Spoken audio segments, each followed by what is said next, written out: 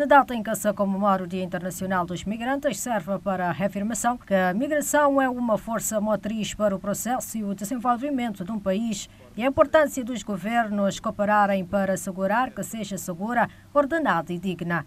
Desta feita, Cabo Verde assinou um protocolo de cooperação com a Polimpoa da França, que, conjuntamente com outros países da África Ocidental, elaboraram o projeto Migration e, nesta terça-feira, fez a sua apresentação. Onde o Ministro das Comunidades avança que esta iniciativa vai trazer o entendimento multilateral e preferencial na gestão do quadro migratório. Vivemos numa época em que o fenómeno migratório tem gerado profundas desconfianças nas sociedades. Por isso, o Pacto Global vem trazer um quadro de entendimento multilateral preferencial para a gestão do fenómeno migratório, no estrito respeito e cumprimento das leis internas de cada país. Cabo Verde está firmemente engajado em trabalhar para a redução das causas profundas das migrações irregulares, contribuindo para a criação de um ambiente propício onde todos tenham oportunidades no seu país de origem e aqueles que pretendem se deslocar para outras paragens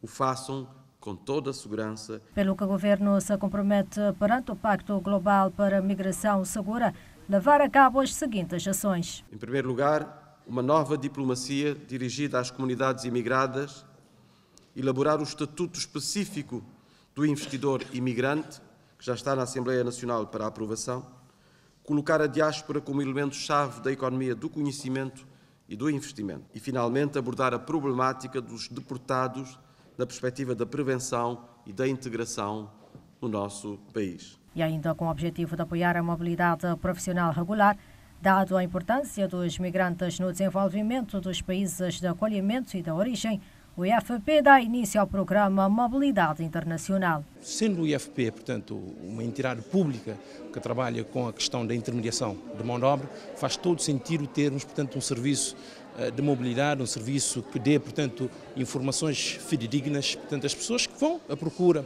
eh, de informações sobre países e pessoas também que querem, portanto, regressar. Ou seja, um serviço de suporte em relação às oportunidades que existem em Cabo Verde.